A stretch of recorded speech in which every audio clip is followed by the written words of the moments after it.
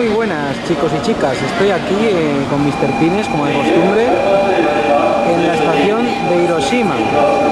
Y bueno, eh, como nos queda ahí unos 20 eh, minutos para que llegue nuestro tren pues he dicho mira voy a grabar y les voy a enseñar qué hay dentro de un 7-Eleven es una cadena de tiendas de 24 horas que hay aquí en Japón como Lawson y otras tantas.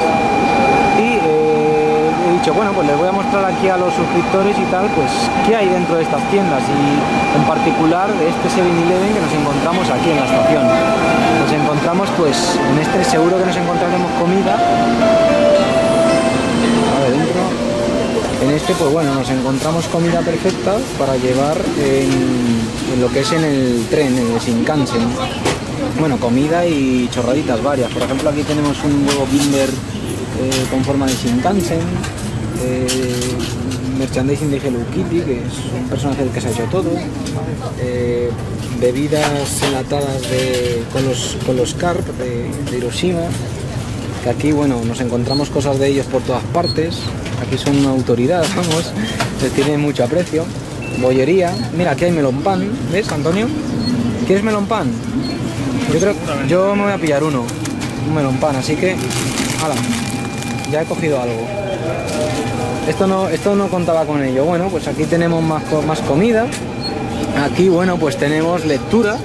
Podéis compraros un tomo de Golgo 13, eh, Food Wars y bueno, eh, más mangas que hay por ahí, revistas. Eh, un poco me voy a la izquierda y tengo que editar el vídeo porque doy con las, con las revistas para mayores, para gente mayor. Aquí tenemos más bebidas enlatadas, cervezas y tal, bebidas energéticas, eh, agua simplemente. De hecho, mmm, sujétame el melón pan, anda, que voy a coger una botellita de agua, es que la otra mano tengo. Voy a coger esta botella de agua, eh, Suntory.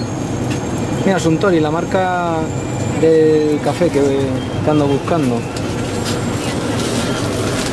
Aquí tenemos sándwich, que bueno, los sándwiches en Japón darían para un vídeo entero porque hay una variedad increíble de sándwich de todo tipo, de, muchos ingredientes. Este, por ejemplo, este sándwich es de...